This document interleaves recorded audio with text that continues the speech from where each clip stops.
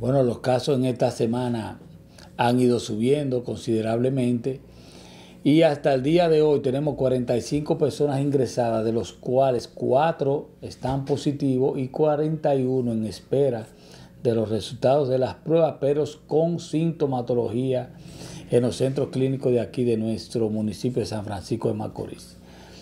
12 de esos 45 pacientes pertenecen, pertenecen a San Francisco de Macorís, los demás pertenecen a otras comunidades como Pimentel, Castillo, Villarriba, Tenares, otras provincias como Nagua, Samaná, incluyendo dos pacientes que hay de la provincia de Higüey, aquí hospitalizados. En el día de ayer tuvimos un fallecido por COVID y, los, y tenemos en cuidados intensivos nueve pacientes, de los cuales tres están con ventilador.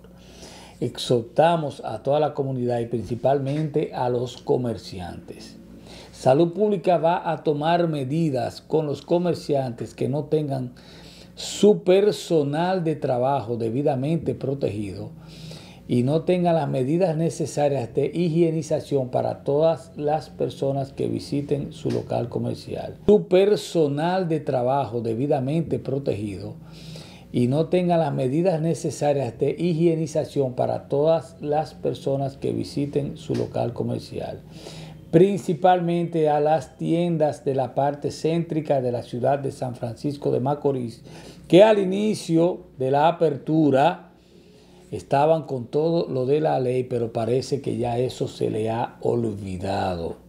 Salud Pública, la Fiscalía y la Policía Nacional van a tomar medidas en conjunto con todos esos comercios.